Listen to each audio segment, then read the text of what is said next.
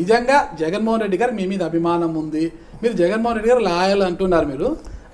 అది నిజంగా అంటే అది నిజమా? లేదంటే మీ అవసరాల కోసం ఇక్కడికి వచ్చారా? నేను అడిగింది స్ట్రైట్ పాయింట్. మీరు ఏం చేస్తే ఇంకా నిజం ఎందుకు చెప్తారు? అంటే ఎందుకంటే ఒక్కటే చెప్తాను. ఈరోజు జగన్మోహన్ రెడ్డి గారు మీరు అన్నారు మమ్మల్ని గుర్తించారు రెండు వేల తొమ్మిదిలో కావచ్చు పద్నాలుగులో కావచ్చు ఇప్పుడు కావచ్చు. ఆయన చరిత్రతో మేము గెలిచాము మమ్మల్ని ముందుకు నెడుతున్నారు. ఆయనే మా నాయకుడు మా అభిమాన నాయకుడు చాలా గొప్పగా చెప్పారు. మరి అలాంటి మీ అభిమాన నాయకుడి మీద ఈరోజు హర్షకుమార్ గారు కావచ్చు ఇతర దళిత నేతలు కావచ్చు?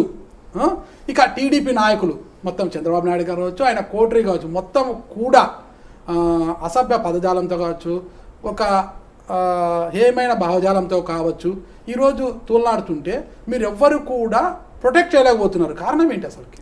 మేము ఒకటే చెప్తా ఉన్నాం మీరు చెప్పిన దళిత నాయకులు ఎవరైతే ఉన్నారో వాళ్ళు ఒక పార్టీకి సంబంధించిన వాళ్ళు. ఓకే.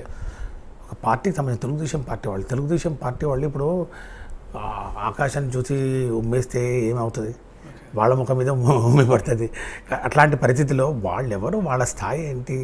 జగన్మోహన్ రెడ్డి గారిని వాళ్ళు మాట్లాడే అర్హత ఉందా? స్థాయి ఉందా? లేకపోతే వాళ్ళు ఈరోజు వాళ్ళు మాట్లాడిన ఒక యాంగిల్ వాళ్ళ థాట్ ఏదైనా ఉందో అది తెలుగుదేశం పార్టీ వాళ్ళ ఆలోచన విధానం వాళ్ళ భావజాలం అది. దాన్ని వాళ్ళు చెప్పారు అంతేగాని మీరు చెప్పినట్టు హర్ష కుమార్ కానివ్వండి లేకపోతే ఆ జడ్జి శ్రవణ్ కుమార్ కానివ్వండి లేకపోతే ఇంకెవరైనా కానీ కేవలం దళిత సంఘాలనే ఒక బ్యానర్ కింద ఒక పార్టీని కొమ్ము కాసే కార్యక్రమం చేయడం అనేది చాలా దురదృష్టకరం. మేము అనేక పర్యాలు కూడా చెప్పడం జరిగింది.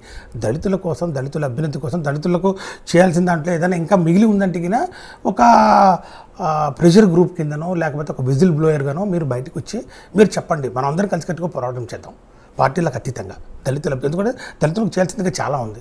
ఈరోజు జగన్మోహన్ రెడ్డి గారు ఒక బాబాసాహెబ్ బిఆర్ అంబేద్కర్ గారి భావజాలంతో అందరికీ అన్ని అందించాలి. కులాలకు అతీతంగా మతాలకు అతీతంగా అని చెప్తూ ముఖ్యంగా ఇంగ్లీష్ మీడియం స్కూల్స్ కానివ్వండి ఈ యొక్క డైరెక్ట్ బెనిఫిట్ స్కీమ్ కానివ్వండి ముఖ్యంగా ఈ దళిత వాడలో ఉన్నటువంటి పాఠశాలను అభివృద్ధి చేయడంలో కానివ్వండి ఇవన్నింటినీ అంటే పేదరికం విద్యకు అడ్డు కాకూడదనే ఒక కాన్సెప్ట్ మీద ఈరోజు ముఖ్యమంత్రి గారు చేస్తున్నప్పుడు వాళ్ళ కళ్ళు ఏమన్నా దొబ్బయా? వాళ్ళకేమైనా ఇవన్నీ వివరించి ఎందుకు మీరు వారి వైపు పోతున్నారు? అసలు వారి వారి మాటలు ఎందుకు నమ్ముతున్నారు?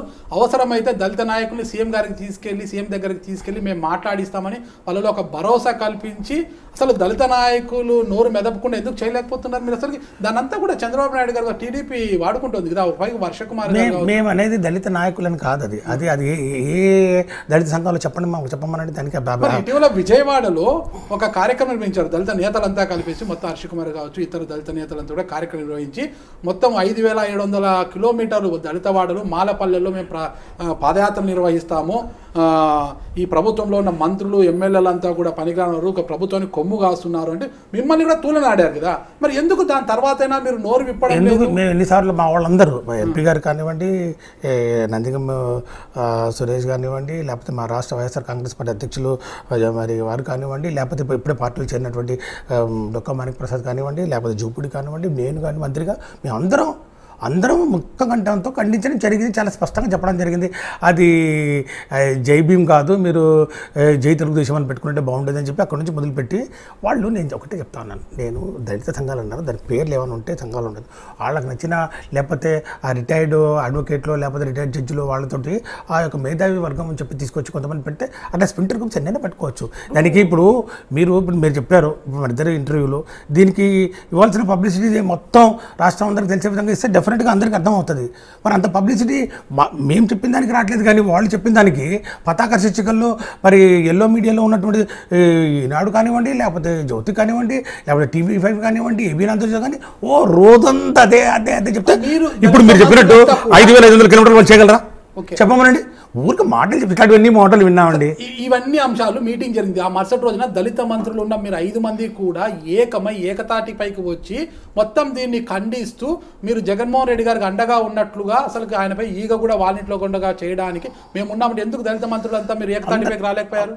ఇప్పుడు వాళ్ళు ఎవరో అదొక చిన్న స్ప్రింటర్ గ్రూప్ను పట్టుకొని మీరు అదేదో రాష్ట్రంలో ఉన్నటువంటి దళిత సంఘాలన్నిటి ఒక గొంతుక అని చెప్తే టార్గెట్ చేస్తున్నారు ఇక్కడ. నేను చెప్తున్నాను చూడండి. ఎవరైనా కానీ ఫస్ట్ వాళ్ళు టార్గెట్ చేసేది సీఎం గారిని కదా. ఎందుకు అడిగినా ఇప్పుడు ఈ రాష్ట్రంలో ఏ తిరుగులేని నాయకుడు ఈరోజు బడుగు బలహీన వర్గాల వారికి ముఖ్యంగా దళితులకు ఈరోజు ఎవరైనా కూడా జగనన్న జగనన్న జగనన్న అని చెప్పే కదా. ఆయన ఆయనకు ఉన్నటువంటి అంత అభిమానం వల్లే కదా ఈరోజు మేము ఇరవై తొమ్మిది సీట్లు అయితే ఇరవై ఏడు సీట్లు గెలిచాం మేము.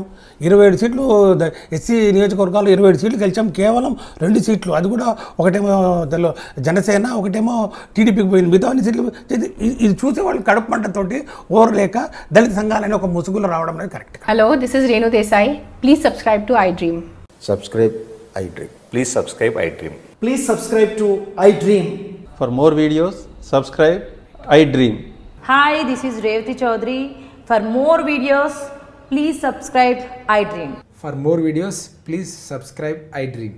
మీరందరూ కూడా ఐ డ్రీమ్ ఛానల్ని సబ్స్క్రైబ్ చేయాలని కోరుకుంటున్నాను. I'm Sucharitha home minister of Andhra Pradesh for more videos subscribe I dreams